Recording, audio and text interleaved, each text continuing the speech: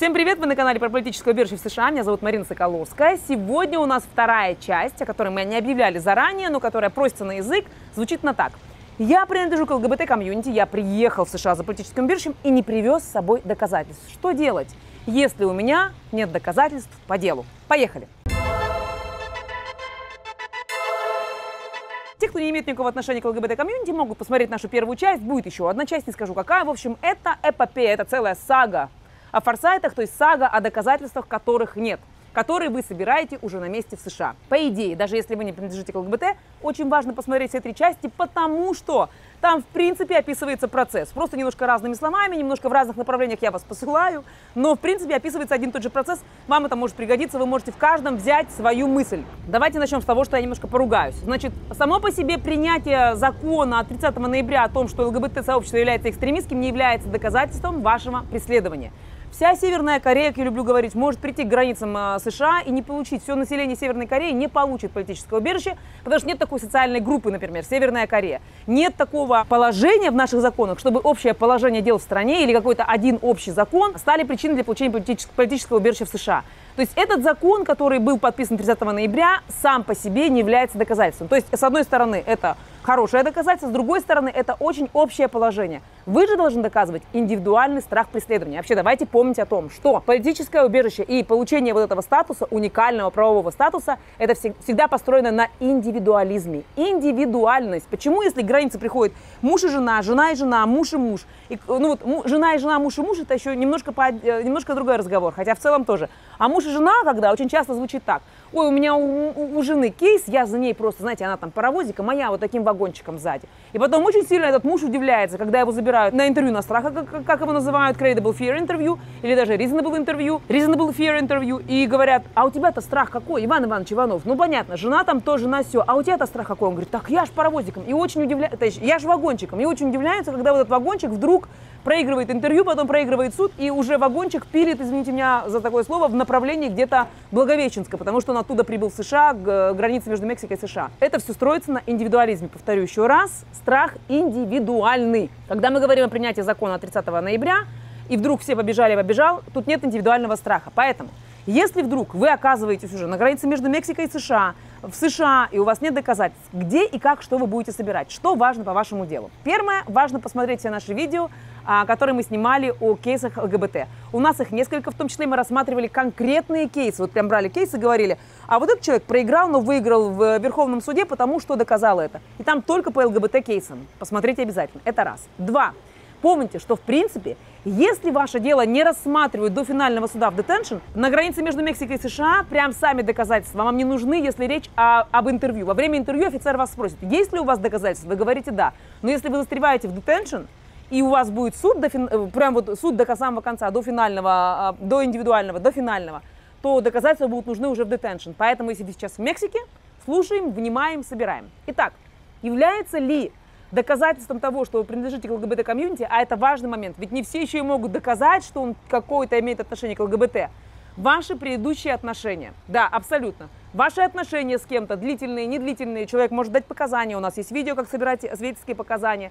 Ваше членство в каких-то группах. Это могут быть группы ВКонтакте, это могут быть группы в Одноклассниках, в какой-то момент они существовали, и я знаю, у нас есть много кейсов э, от людей из ЛГБТ-комьюнити, и они прям рассказывали, какие группы, как они собирались, вместе выезжали куда-то на пикники, как они общались, то есть это была такая небольшая комьюнити, ведь не, не секрет, что ЛГБТ-комьюнити, это как, не знаю, там, феминистская комьюнити, нет никакого членского взноса, членского какого-то билета, куда можно войти, это очень эфемерное такое создание.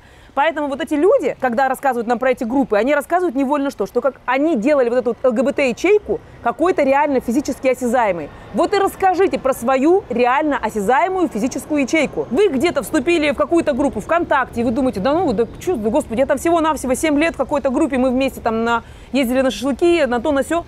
Это одно из ваших доказательств. Пойдите и посмотрите, что происходит теперь в этой группе. Группа закрыта. Она стала... Группа закрыта, в принципе, я имею в виду. Ее снесли с ВКонтакте или из Одноклассников. Она перебралась в Телеграм. Какие-то люди из этой группы были арестованы, кому-то что-то было предъявлено, кто-то скрылся в Германии, в другой стране европейской, может быть, даже в США, потому что ему предъявили обвинения. Проведите расследование вот в этих вот в группах, в которых вы состояли, и посмотрите, те люди, которые раньше рядом были с вами, как они уже, возможно, пострадали от того, что происходит в России. Это не будет прямым доказательством того, что вас тоже будут преследовать, но это может стать хорошим доказательством, может быть косвенным даже.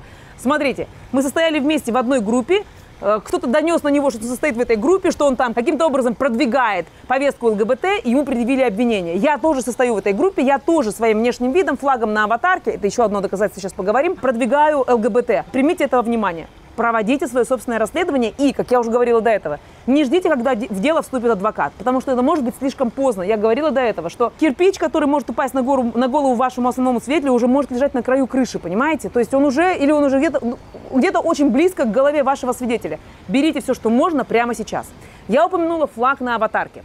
У нас в группе в Телеграм, куда я всегда всех призываю подписаться, недавно прошла такая новость о том, что во всем цивилизованном мире закон обратной силы не имеет, в России же, как всегда, все через одно место. Значит, о чем речь? Когда мы говорим закон обратной силы не имеет, что мы имеем в виду? Мы имеем в виду, что какой-то закон может быть принят в 22 году, а я, а я это сделала, вот что-то против этого закона в 19 Меня не могут наказать за то, что я сделала в 19 году. Но в России все наоборот. У нас как раз прошла, опять повторю, новость, где рассказывается о том, что девушка там поставила пост, была про ФБК в 19 году, в 21 году, а, наказывать ее за это начали прямо сейчас, в 24-м. Так вот и вы можете поставить свой флаг на аватарку, радужный флаг на аватарку, до этого закона, до, даже задолго, не знаю, там, до июля 23 -го года, когда была принята первая часть этого закона, до 2013 года, когда был принят первый-первый закон о рекламе ЛГБТ. А посылать можете в 2024 году. Используйте вот такие мелочи, как закон обратной силы не имеет, я могу пострадать, даже если я удалю это все, уже скриншоты есть и так далее, и так далее, используйте это все в своей доказательной базе. Повторю еще раз, вполне возможно, когда вы дойдете до США, пойдете к адвокату, адвокат посмотрит, скажет, вот это хорошо, это хорошо, это молодец, это молодец, а это уже флаг на аватарке, уже ладно, это уже ерунда, вы выдохнете. Но сейчас, когда у вас нет адвоката и вы готовитесь к переходу между Мексикой и США или еще какие-то собираете доказательства, пока, повторю, ваши друзья, свидетели готовы их дать, берите все, что есть. Итак, давайте пока суммируем. Все, что у вас есть в ваших сторис, в Инстаграм, включая флаги на аватарке, которые были поставлены задолго. Все, что произошло с вашими друзьями, пусть они даже не друзья, но это члены какой-то одной вот вашей ячейки. Вы были вместе в группе ВКонтакте, в Одноклассниках и так далее. Аналогичные истории, конечно, которые имели место быть э, с людьми, которых вы знаете не только по членству где-то там, например, это бывшие ваши а, партнеры, партнеры какие-то, да, вы, может быть, вы расстались, но этого партнера судьба сложилась так, что он оказался в Германии, в США, и он готов дать об этом показания. Очень важно понимать, что особенно трудно с доказательствами у выходцев с Кавказа. Эти люди настолько прячутся, они когда рассказывают нам свои истории, просто мороз по коже. И они очень сильно прячутся и очень сильно скрываются. И у этих людей особенно плохо с доказательствами, как правило, потому что если человек живет в Москве, то он еще может как-то где-то какую-то фотографию поставить, что-то, а, с кем-то жить, проживать вместе. Это мой двоюродный брат, оставьте меня в покое. То когда мы говорим о выходцах с Кавказа, как правило, их начинают очень рано принуждать к браку, к замужеству, к, к тому, что будь как все, рожай детей, и у них все совсем плохо. Но вот опять же, им может помочь кто? тот, кто раньше был с ними, например, в отношениях и вырвался из этих отношений. Или есть замечательные группы, типа как «Кавказ без насилия». Если вы туда обращались за помощью, то люди, которым вы обращались за помощью, там могут подтвердить, что вы обращались к ним за помощью. В общем, я к чему призываю? Я призываю по, по крупицам собирать все, что есть. Вот все, все, все, что есть.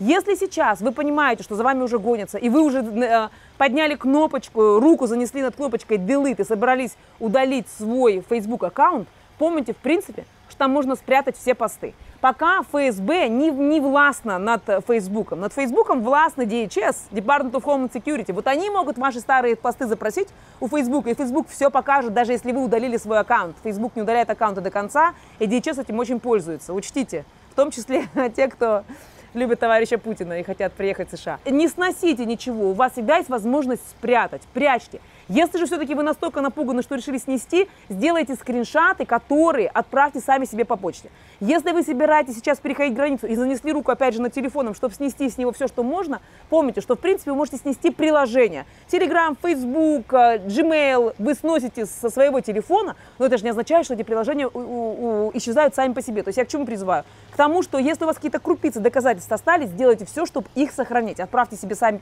сами себе на почту, отправьте друзьям и будьте уверены, что вот эти доказательства, которые есть, если что, будут отправлены вам в детеншн, потому что вполне возможно, именно там вы будете доказывать, что имеете право на получение политического убежища в США. Что касается нахождения в США, как я уже, как я люблю говорить, будьте последовательны в своей позиции. Вот я люблю эту фразу повторять, там, не знаю, на каждом шагу, она очень хорошая. Если вы там старались всеми силами доказать, что члены ЛГБТ такие же люди, спорили, может быть, на работе, доказывали, что то, что вы относитесь к ЛГБТ, никак не сказывается на том, на, на, на том, не знаю, какой вы повар или какой вы ресторатор, да, и так далее, и так далее, то здесь, здесь нельзя совершенно забывать о том, что вы за права членов ЛГБТ. Вы там ходили, там ходили, или мысленно ходили, или онлайн подключались, или э, писали петицию, чтобы был э, прайд-парад. Так почему же здесь, когда проходит прайд-парад, вы сидите дома? В Нью-Йорке прайд-парад проходит не только большой, один главный, но он в том числе проходит на Брайтон-Бич. А вот этот парад на Брайтон-Бич, он разделил ЛГБТ-комьюнити э, русскоязычный. Почему? Потому что кто-то считает, мы ничего не должны доказывать этим ватникам, мы не пойдем, зачем их бесить. А кто-то говорит, нет, давайте покажем, что вы тоже люди. Вот, я упомянула очень важную организацию, которая есть в США. Это, это русскоязычная ЛГБТ-комьюнити. Вы приехали сюда, вы должны найти своих. Вы должны пойти к своим. Да, не факт, что они смогут вам помочь. Очень многие там сами нуждаются в юридической помощи, финансовой помощи, не могут найти работу, не говорят на английском.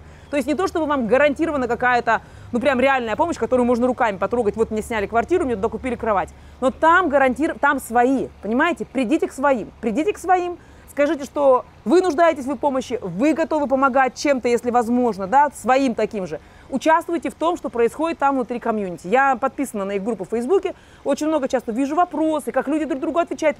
Те, кто перешел границу год назад, помогают тем, кто переходит ее сейчас и так далее, и так далее, и так далее. Вливайтесь в ряды своих, создавайте вот ту самую ячейку, которая была ВКонтакте, в Одноклассниках, которую снесли там, создавайте ее здесь. Присутствие ваше на сайтах знакомств – еще одно доказательство того, что вы вели там жизнь э, такую, какую мог вести, позволить себе э, ну, нормальный человек. Да? Все могут быть на сайте знакомств. Это еще одно доказательство, что вы принадлежите к ЛГБТ-комьюнити, потому что не секрет, что э, люди там могли настолько прятаться что о них вообще ничего не было известно. При этом, как ни прячься в России, доно, как бы, от доноса часто не скрыться. То есть можно прятаться, усиленно прятаться, изображать из себя одинокого холостяка и при этом получить донос со всеми вытекающими последствиями. В целом, на этой положительной ноте закончим. Единственное, к чему призываю. Не ограничивайте себя в сборе доказательств. Перестаньте надевать шоры. Вы не лошадь на улице. Не смотрите вот так на это, смотрите вот так. У вас должен быть очень широкий охват, когда вы смотрите на свою жизнь написали историю, отправили нам на оценку, мы проставили там красные галочки, доказательства, доказательства, а этот человек скажет, а этот человек в суд придет, а это, а это, это. Вы посмотрели и такие, точно, я вот по этим пунктам могу собрать доказательства. Пусть они выглядят нелепо, смешно, но я их соберу, а уже потом адвокат с ними разберется. Подписывайтесь на все наши каналы, их не так много. Приходите в группу в Телеграм, присылайте кейсы на оценку. Всех люблю, целую, пока.